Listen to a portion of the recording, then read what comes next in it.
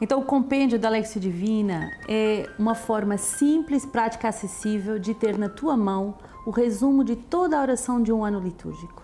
Com esse livro, você não vai perder a tua oração, você vai registrar dia após dia o conteúdo da tua oração. E a oração vai se transformar vida, vai se transformar em decisões, em práticas concretas. Essa palavra é tão poderosa que um só versículo pode mudar toda a sua vida. E o que é a Lexio Divina? A Lexio Divina, como o nome diz, é uma leitura orante da palavra de Deus. Cinco passos, muito simples, e a leitura é algo objetivo. O que é que esses textos falam hoje, concretamente? Lê com calma, lê tranquilamente, lê várias vezes essas três leituras. Depois da leitura você tem a meditação.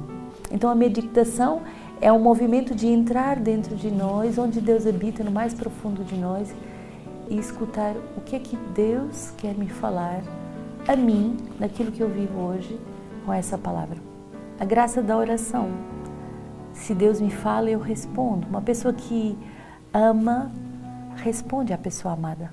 E o quarto passo, a contemplação, que transpassa o teu coração e, e torna o teu dia todo diferente. E essa palavra deve ficar ruminando no nosso coração ao longo de todo o dia. E último passo, a resolução. Qual a decisão que eu tomo face a essa palavra?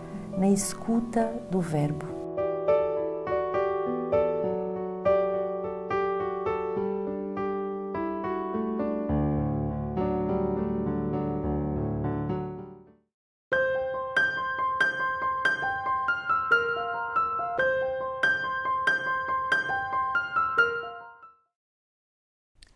Hello everyone, I'm Sister Mary Elizabeth from Seeds of the Word community, and I'm happy to be back with you all on this Tuesday, July 20th, to do Lectio Divina and to meditate with sacred scripture.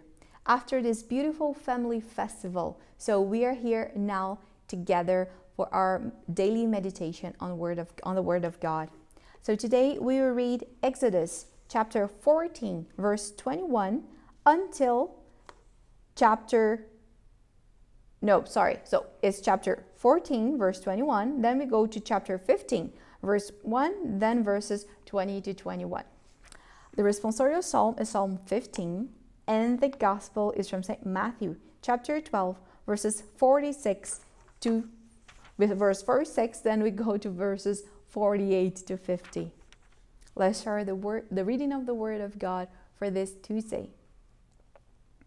A reading from the book of Exodus the Israelites were encamped at the edge of the sea. Pharaoh, king of Egypt, and his army pursued them so as to enslave them once again. Then Moses stretched out his hand over the sea. The Lord drove the sea back by a strong east wind all night and turned the sea into, into dry land, and the waters were divided. The Israelites went into the sea on dry ground and waters forming a wall for them on their right and on their left. The Egyptians pursued and went and went into the sea after them. All of Pharaoh's house, horses, chariots, and chariots drivers. All at the morning, at the morning watch, the Lord and the pillar of the fire and cloud looked down upon the Egyptian army and threw the Egyptian army into panic. He clogged their chariot wheels so that they turned with difficult, difficulty. The Egyptians said, Let us flee from the Israelites, for the Lord is fighting for them against Egypt.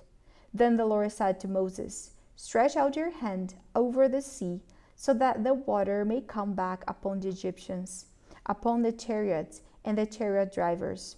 So Moses stretched out his hand over the sea, and at dawn the sea returned to its normal depth. As the Egyptians fled before it, the Lord tossed the Egyptians into the sea.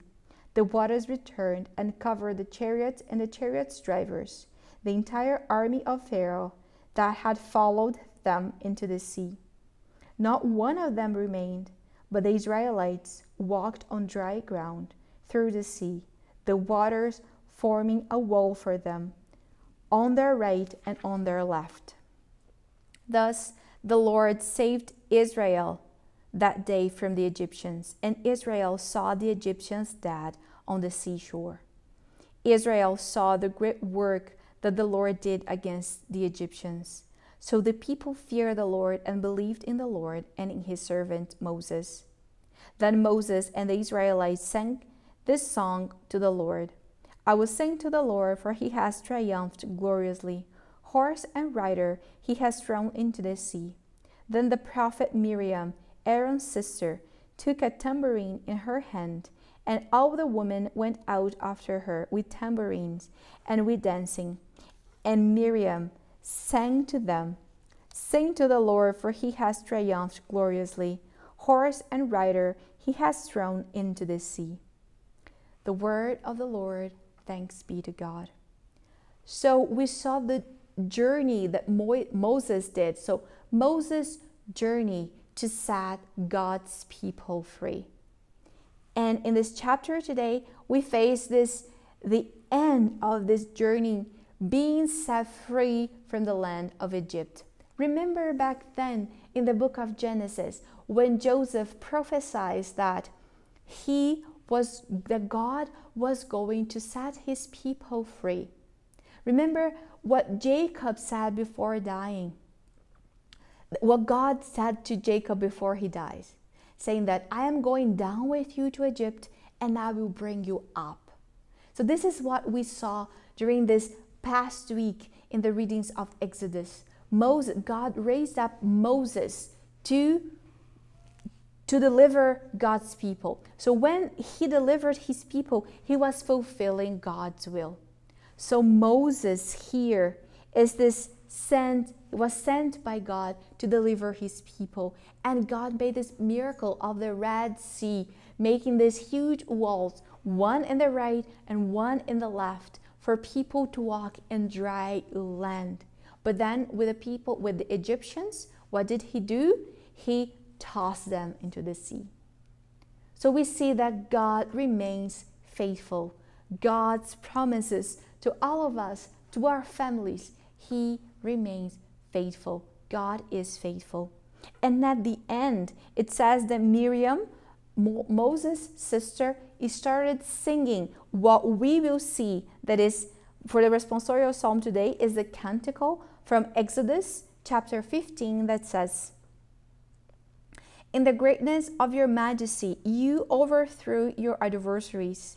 At the blast of your nostrils, the water piled up. O Lord, the floods stood up in a heap. The deeps congealed in the heart of the sea. The enemy said, I will pursue, I will overtake, I will divide the spoil. My desire shall have its fill of, of them. I will draw my sword, my hand shall destroy them. You blew with your wind, the sea covered them. They sank like lead in the mighty waters. You stretched out your hand, the earth swallowed them. You brought them in and planted them on the mountain of your own possession, the place, O Lord, that you made your abode, the sanctuary, O Lord, that your hands have established. So, this canticle today came from Miriam's mouth, praising God for what he did. He says, Our enemies thought they were going to take us, to, to, to win us.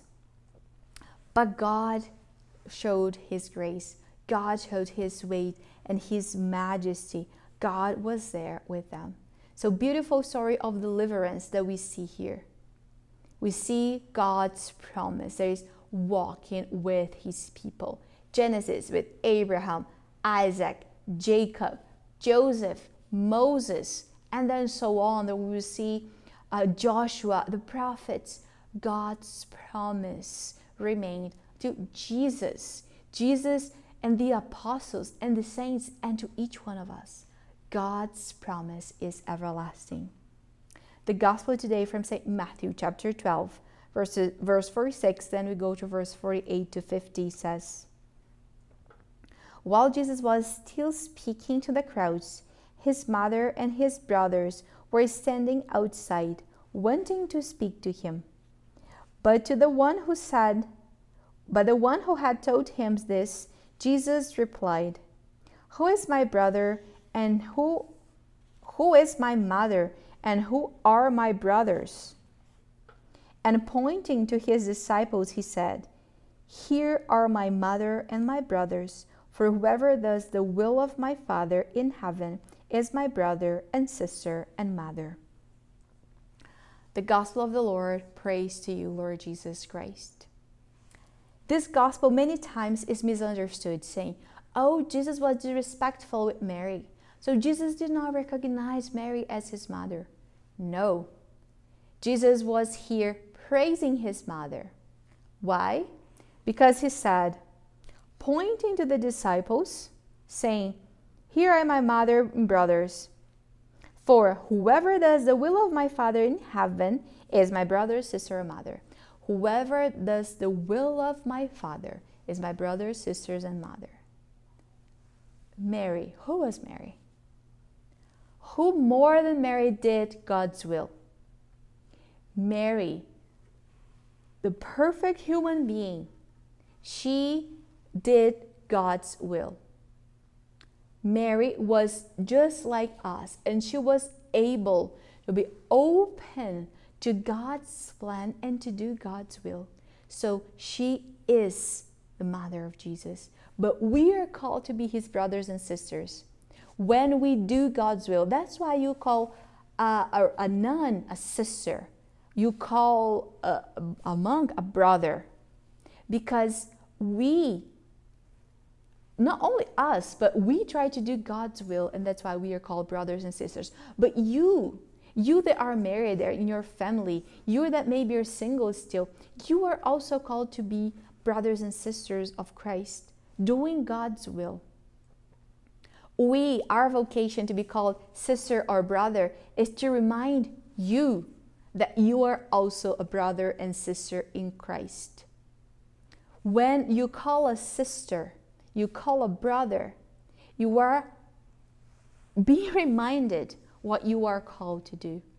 So Jesus wasn't disrespectful with his mother at all. He was pointing her, saying, Look at her. She was able to say yes to the Lord. So we all need to say yes to the Lord. Be just like my mother. Be like my mother. So be like Mary. All of us, we are called to be like our mother in heaven, to follow Christ and to obey God's will. And today, July 20th, the church celebrates Saint Apollinaris. Apollinaris lived in the first century and according to, to legend was chosen the first bishop of Ravenna by St. Peter. He was also one of the first great martyrs. During the reigns of Emperor Claudius and Vespasian, he was repeatedly exiled and tortured by but continued to evangelize and work miracles until his martyrdom. But today we celebrate this ancient saint. He was chosen by St. Peter. He was chosen by St. Peter. St. Peter continued Jesus' mission, choosing apostles, choosing disciples. And it gets to us today. So, Jesus' word, Jesus' mission continues among us. So, let us keep this promise and keep this call to be Jesus' brothers and sisters helping each other and building up our church. Amen.